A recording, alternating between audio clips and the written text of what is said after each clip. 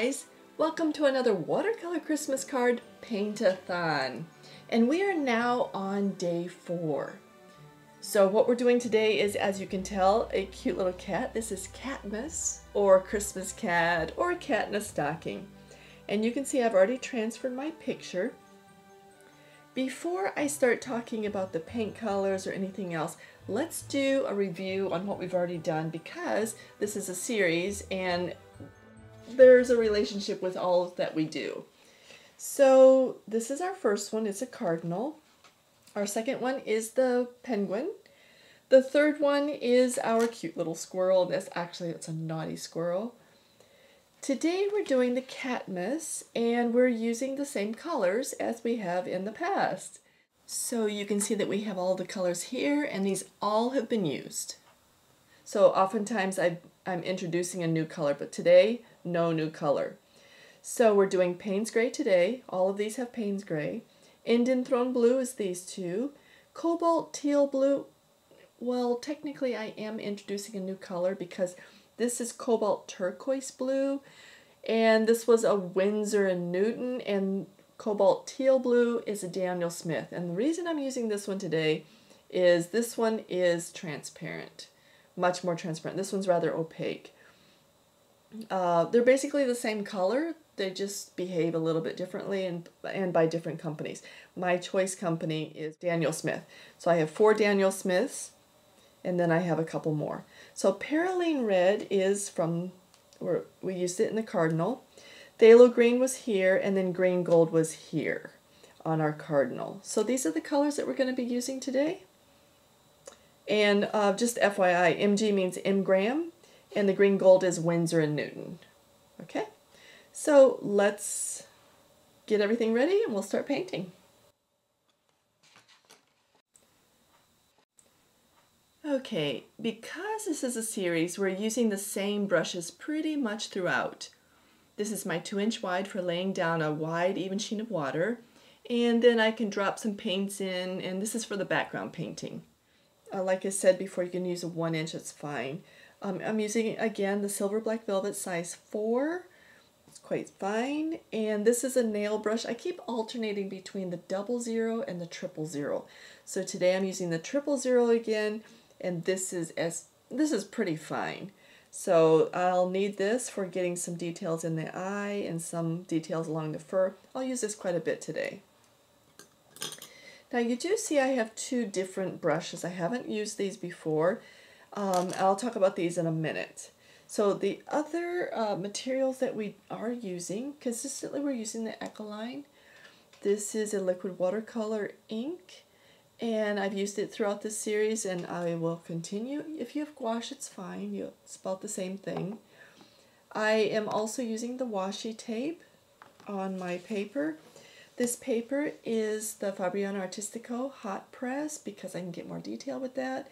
This is 6 inch by 9 inch and all of my cards this on, in this series are 6 inch by 9 inch or 15 centimeters by 23. Okay, now about these brushes. In this painting today, I'm finally using some masking.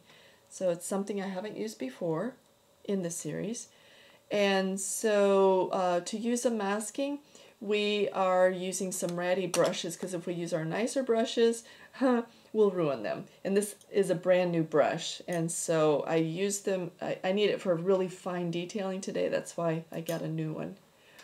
So these are my ratty brushes. You can tell they're pretty messed up.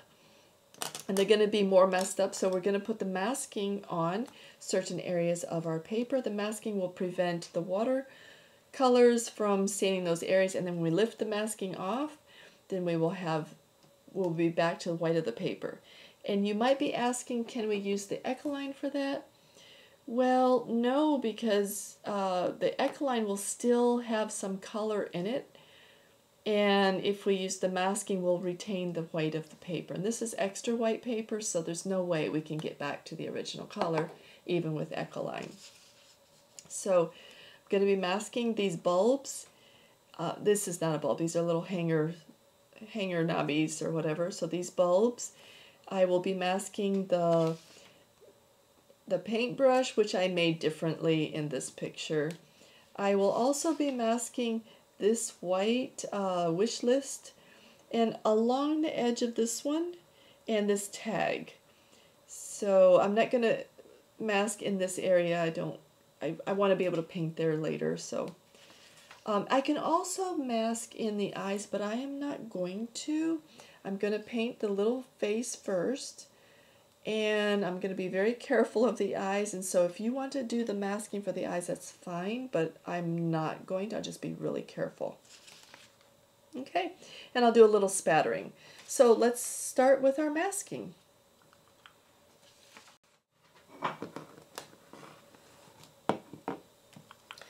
Okay to do the masking I tend not to dip directly from the bottle because I'm masking quite a bit and this stuff dries and gets gummy and I don't want it to have too much air exposure. So I'm going to put a little bit into my, I think that's using quite a bit right now. So that, that should be enough. And you'll notice I didn't pour it over this paper because I just spilled some and it's happened before. So I'm pretty careful with that stuff. Huh? And I have right here, this is some liquid dish soap. And I use that to uh, protect my brush. I know it's an old ratty brush, but it does help protect better.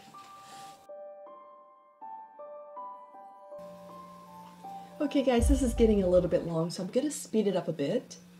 I masked the areas I told you about. I used two brushes. One was a smaller and one was a larger.